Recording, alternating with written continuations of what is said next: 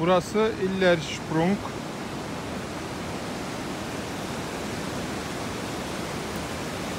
Yani illerin eee, atladığı yer, zıpladığı yer manasına geliyor.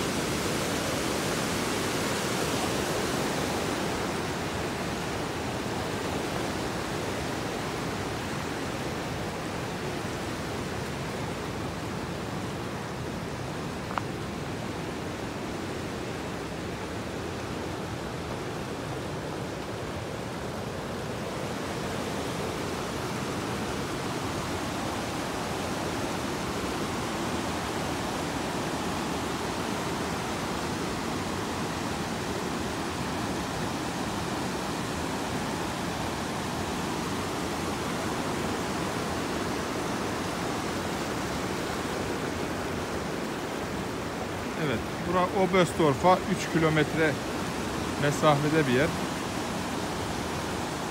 İller kenarından Oberstdorf'a giderseniz eğer burayı görme şansınız olur. Diyerek videomu kapatıyorum.